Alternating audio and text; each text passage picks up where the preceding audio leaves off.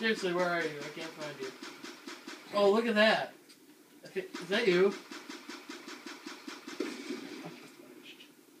Darn. Oh god. I finally found you. Okay, now where are you at? Right behind you, Derek.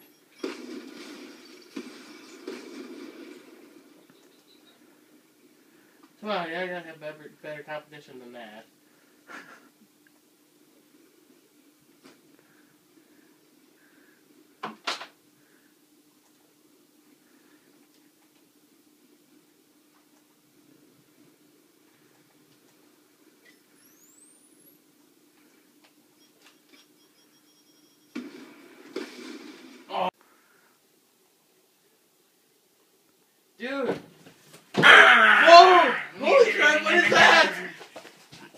An Asian lady beetle?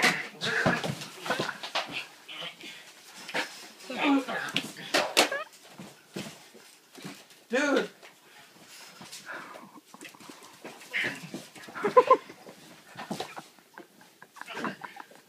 That's an Asian lady beetle!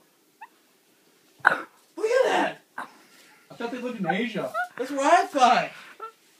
The Well, I remember hearing something that they got imported here to lower an aphid population. What the hell they doing here? I have no idea.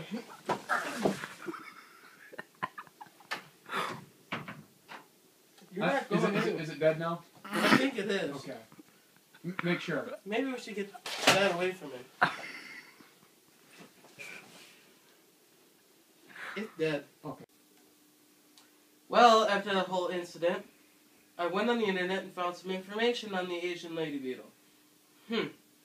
It says that they are from eastern, um, they are from Eastern Asia, like Siberia, Kazakhstan. You know that whole area, like this beetle here, trying to go over here. That's kind of where it came from. They were brought over to North America to control the aphid population. It failed, though, but at the same time, somewhat worked. But ever since that, it has become a very big nuisance to us. Aren't they usually like red, black spots, or orange, with like dome shaped kind of? Yeah, yes, you're right. Put that down. Put it down. Put it down. Good job. But Oh. yes, you are right. Oh, what's their habitat? Their habitat usually is wet grasslands, but normally they can be just about found anywhere. The true name for this species is the Harmonia exigis. Its phylum is the Arthropoda, kingdom Animalia, class Insecta, and its family name is the Coccinellidae. Oh, what do they eat? They eat aphids.